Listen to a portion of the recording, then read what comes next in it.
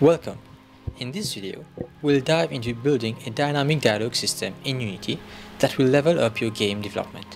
Whether you're creating branching narratives or simple conversations, this system offers flexibility, ease of use, and seamless integration. Let's jump in and make your game come to life. So as you can see, this is what we are going to produce by the end of this video. And let's get started with the project setup right away. So as you can see, uh, it's a very simple scene with two NPCs, alright? And we have an NPC script that takes in two dialogue scriptable objects, alright? We'll look at this later on. And followed by this, we have a canvas, which is what our dialogue is basically, the UI for the dialogue.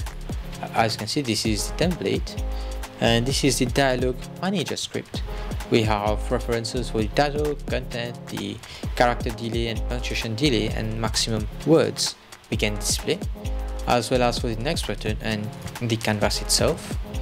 And in here we have the title and buttons also. Here you are the buttons which is linked to the dialog manager that move next function. We'll look at that in a moment. So this is it for this project setup and now if I were to disable this again we can look at the dialog here. As you can see these are the different scriptable objects. We each with a title and then the lines that they want to say. All right so we've got two dialogues per character. Okay.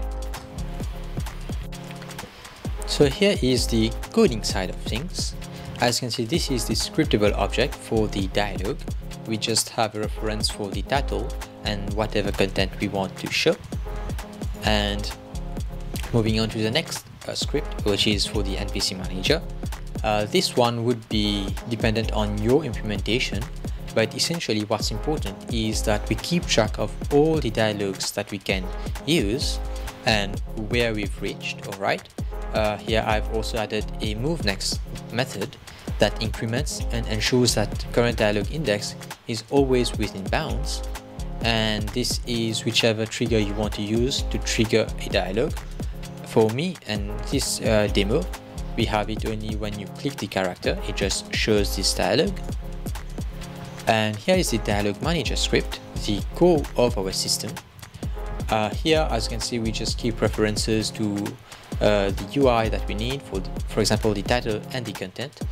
Also we keep a reference to this one using the singleton pattern and also to the move next button, the canvas, as well as some delays and maximum word count. Avoid awake, we just reference that. Move next is setting this flag to true. Uh, you'll see where we use it later on. And then we just have a method to show the dialog. So this is the iEnumerator, the coroutine that's responsible for displaying the uh, dialog. So as you can see, when this is called, we set the title text to whichever title we want, uh, reset the content text, and then we just enable the dialogue itself.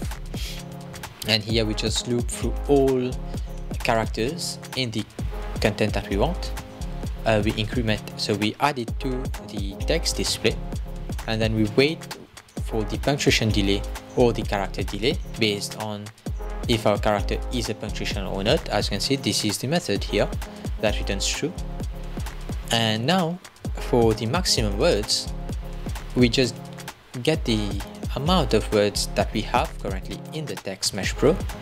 And then we just check if it's exceeding or matching the max word count that we have. And we only do so if we've reached a punctuation or if we reached uh, a space character. And if it does match then we set the move next button to true wait until they click it and then reset the content text and disables the button. And then we just loop through each characters of the character of, of the content sorry. And once this is done we just again show the next button and then wait for them to actually press it. And when they do we just disable everything and then just increment uh, the current dialog index using move next so essentially this is everything about the characters dialogue system that we have. and uh, now we just have to set it up in the Unity editor as we've done previously. And then once this is done you should be having a character a dialog system that is fully functional and quite flexible as well as you can see. This is the end result. So if you guys enjoyed this video do feel free to leave a like subscribe as well and comment below whichever question or queries that you have. Also do keep in mind that I am going to release this asset for free on the Unity Asset Store.